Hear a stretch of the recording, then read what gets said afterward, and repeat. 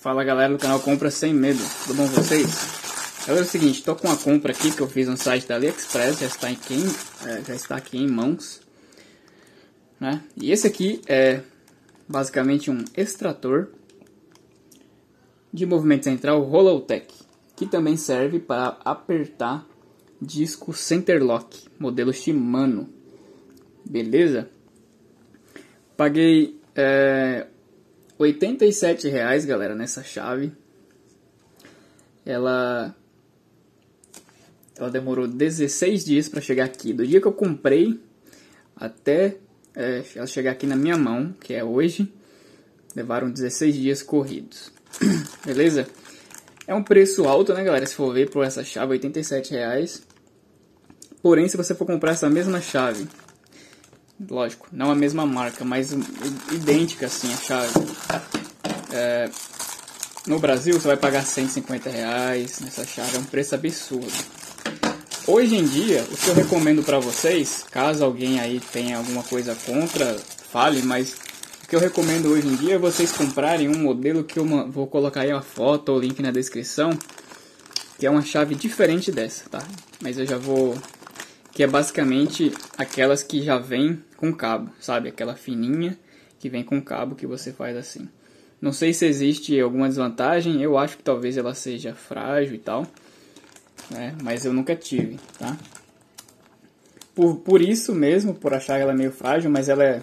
Mas assim, só de vista, né? Porque eu nunca comprei uma.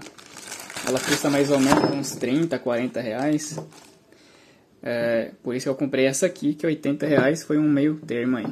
Como vocês podem ver, essa aqui é muito robusta, né? Tá pesada, bem pesada.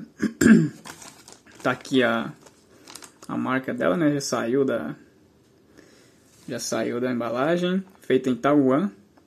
Modelo Bike Hand. Cara, é, assim galera, dá a sensação de ser uma ferramenta muito bem feita. Acabamento bem feito. Chave bem pesada.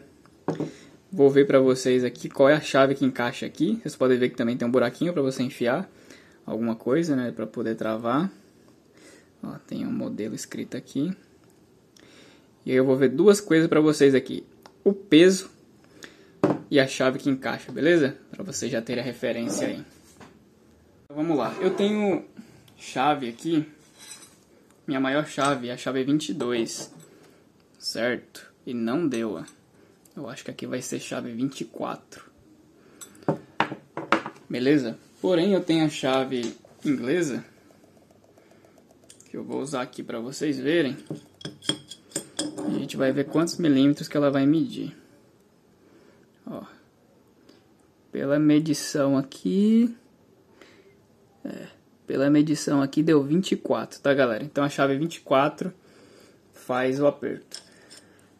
Recomendo vocês usarem uma chave inglesa, acho que é melhor. Do que comprar a chave 24, que deve ser preço bem parecido. Uh, pode ser também né, esse modelo que encaixa aqui por dentro, mas eu não tenho nenhuma chave que encaixa por dentro, então não vou saber falar para vocês qual é encaixa. Vamos ver o peso?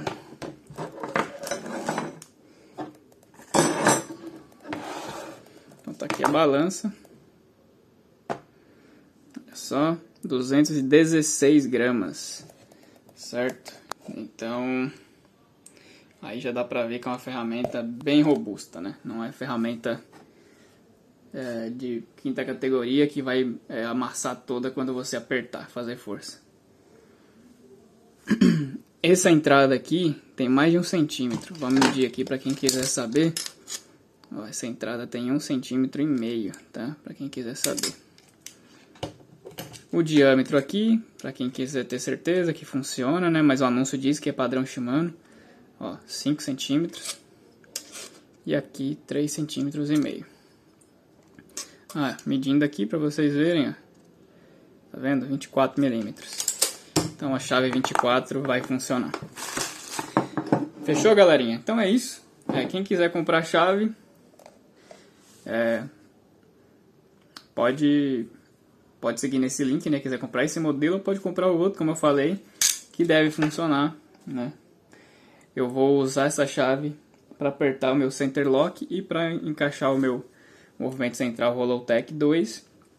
Se eu tiver problemas, eu faço um vídeo falando para vocês ou até adiciono nesse se esse vídeo não tiver saído ainda, beleza? Então é isso aí. Então, pessoal, se inscreva no canal para mais vídeos como esse, vídeos de opinião independente sobre compras que eu faço para o meu uso no dia a dia. Até o próximo vídeo, um abraço.